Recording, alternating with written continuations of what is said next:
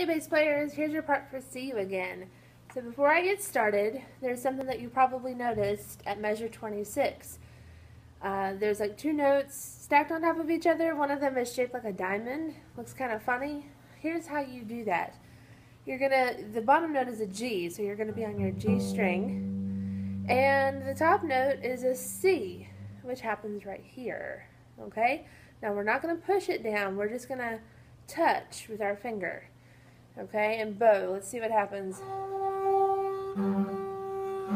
So you got this whistly sound. Um, that's called a harmonic touch. Alright, here we go. And when it says uh, E bass, anytime that it's talking about that, that means electric bass. So you might see uh, minus electric bass or add electric bass here. So those are just the options you have with this song. All right, here we go. One, two, three, four, rest, rest, go.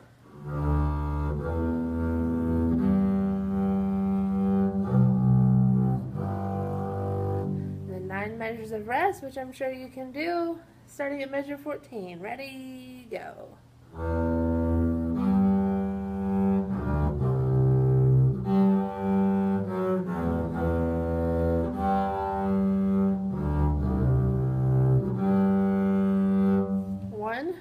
Two, three, four, two, two, three, four, three, two, three, four, four.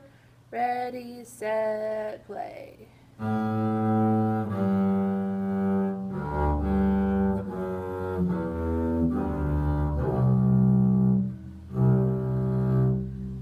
Play the top note,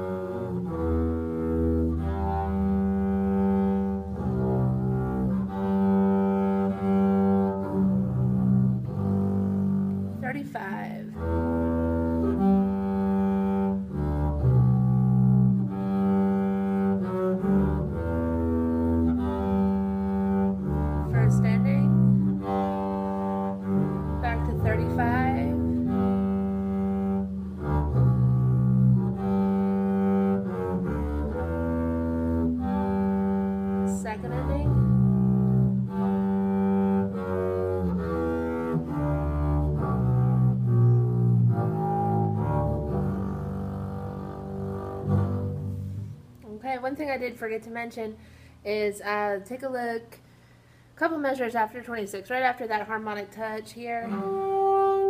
Um, you have fourth position. That means that your middle finger goes on your high D sticker. Okay, let me see if I can get this a little better. Good.